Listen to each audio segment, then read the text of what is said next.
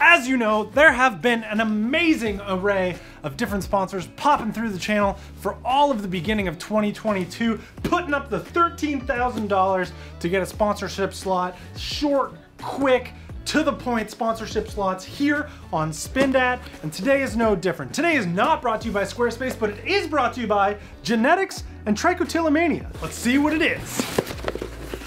What is it? What is it? Male pattern baldness.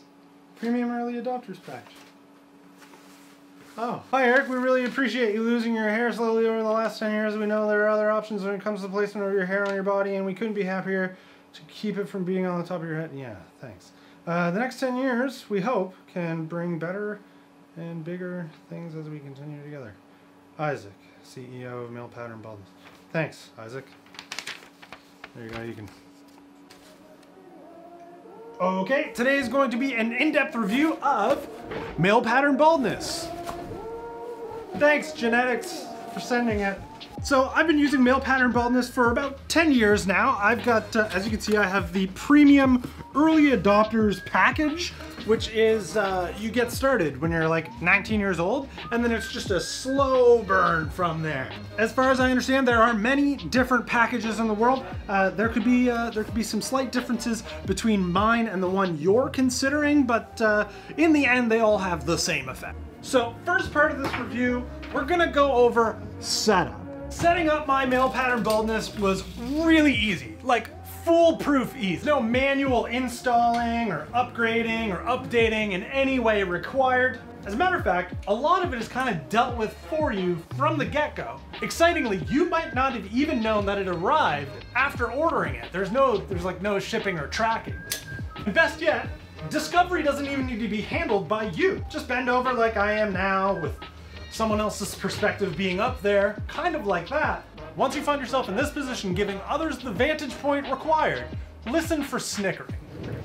Once you hear the snickering, try and spot it. This is typically pretty easy to do.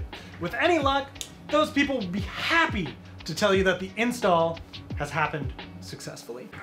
And if not them, someone else will, I promise. This part of the male pattern baldness process really requires no effort on your part at all. It's very, very easy. Setup. The male pattern baldness really hit setup perfectly. It's like Apple quality setup. It's so efficient, so simple, you might even, like, you kind of question whether or not it's right. Like, hmm. Now the package I received, the Premium Early Adopters Edition, came with some built-in denial time. Now I didn't read the instructions, but I'm pretty sure the built-in denial time with my package was to help with deciding on which route of commitment you want to go down. Four out of five stars for setup. It's pretty good.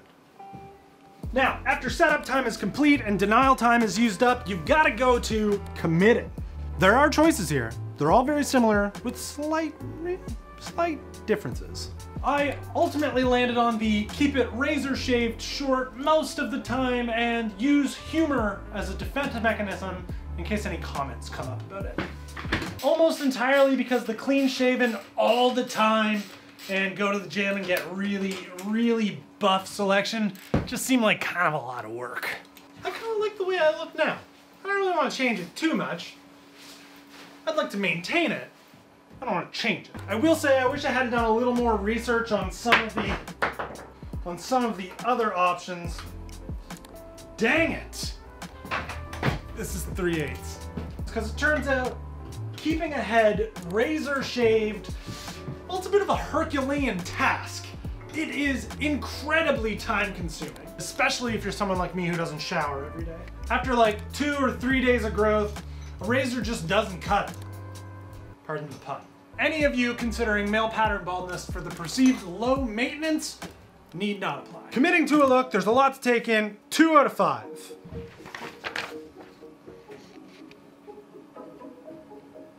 Maintaining and protecting. It's pretty similar, pretty similar to working on bikes, I must say. After the install and some of the updates of your male pattern baldness will have the same sort of effect on your scalp, exposing some sensitive skin as say, stripping the paint off of a steel frame.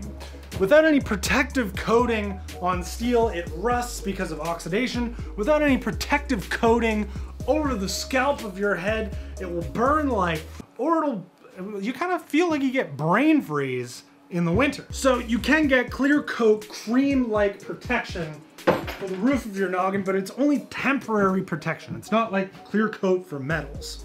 My choice of foolproof hot day sun protection comes in the form of a hat. Because I ride bikes, these things for under the helmet to protect the skin from A, getting burnt, and B, having uh, the hilarious burn lines of your helmet vent. Um, well, these, these work a treat. They're a little hot, but mm, it's fine. Now, the winter, the cold months, if you ever experience no hair, you will learn that if you ride a bike in it, run in it, whatever, you will learn very quickly that your body does very much regulate its temperature through the top of your head because cold weather will literally give you brain freeze. And therefore, the solution, once again, is a hat.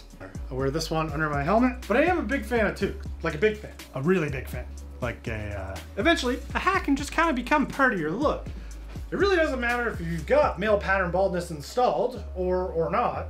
Sometimes hats just kind of look good. It's just when you got male pattern baldness installed, the hat offers a little more utility than the guy who's already got, uh, well, you know, the natural hat. When it comes to maintenance and protection, five out of five. I freaking love wearing hats. When the old noggin gets revealed, you get the fun reminders, and that is the fourth section of this review. After time, you're eventually gonna get used to the installed an updated version, current version of your male pattern baldness, and you just kind of come to terms with it. You bought it, and there's no returns. You knew that. No warranty. You get to keep it. So it just kind of becomes part of you and old news.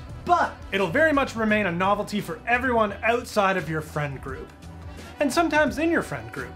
Notable updates to male pattern baldness will generally come up in normal conversation. That's not so bad. Considering the style and emotional commitment that I put with my male pattern baldness, I bring it up as a joke regularly. Mm, that's not so bad. Old photos before the male pattern baldness install, that is always a crowd pleaser. And then the easy low blow addition of your male pattern baldness into an insult during argument.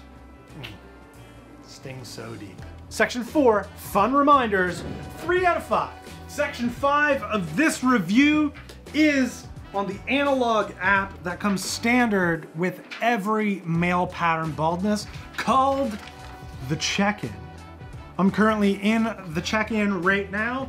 Uh, it's very simple. You just don't touch the hair on your head with a razor for a little while. That way you can truly visualize and see the progress of the updates after the initial install of your male pattern baldness.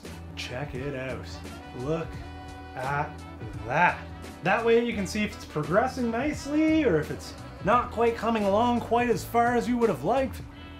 I guess it all depends on what your end goal is. Me, personally, I've been using male pattern baldness, the premium package, for like 10 years now, and I certainly find myself frustrated with the progress that it's at so far. I would like I would really like this part to just kind of like finish the work that it needs to do so I can start looking like Stanley Tucci. But it's really taking its time. Overall, I give Section 5 and the check-in app a 5 out of 5. Can't blame the performance of the model of male pattern baldness that I got on the app. The app does exactly what it's supposed to do. It does it very, very well. I just wish the rest of this would go away and make the maintenance part a lot easier. Do you know what I mean? So big question is, what do I give male pattern baldness, the premium early adopters package out of 10? What is the rating? I give it, well, I give it a solid 10 out of 10 because you don't really have a choice either way. Hey, if you're interested in getting some male pattern baldness on your own, unfortunately it's invite only. Um, only a select few will be allowed to get it. Someone will let you know if you've been accepted to install male pattern baldness on yourself. Trust me. Thanks for watching. Normally the channel is about bike stuff only. Subscribe, anyway.